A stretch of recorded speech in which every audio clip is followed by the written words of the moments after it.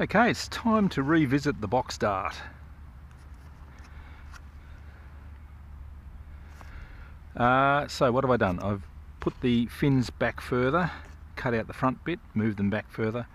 I have tilted the wing up a little bit, which effectively changes the thrust angle. I think that's part of my problem. I have extended the elevons out to the tips uh, and give myself more throws. So Here's hoping.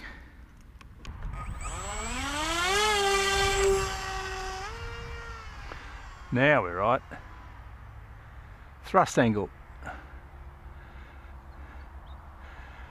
And it's flying nicely. That's cool, finally. Oh, I do. There we go. Thrust angle. I can throttle up to get a bit more height.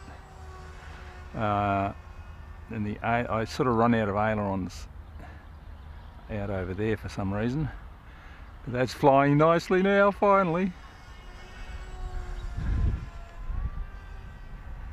That's what we want. The ability to throttle up out of trouble. that's cool.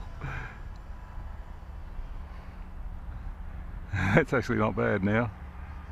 Ah, it took a bit of designing this one.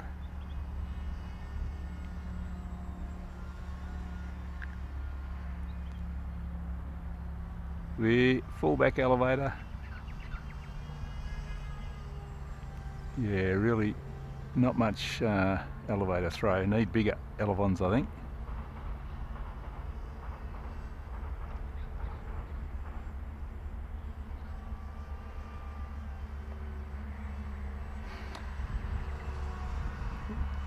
Rolls okay.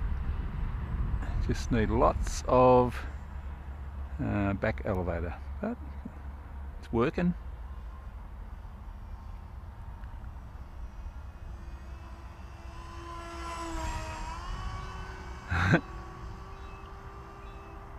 Fall back elevator.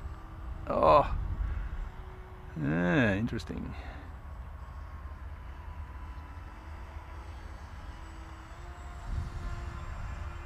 Sort of have to level out and throttle up to uh, gain height when I'm turning.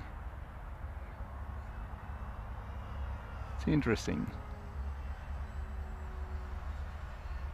Well, about time we put this one to bed.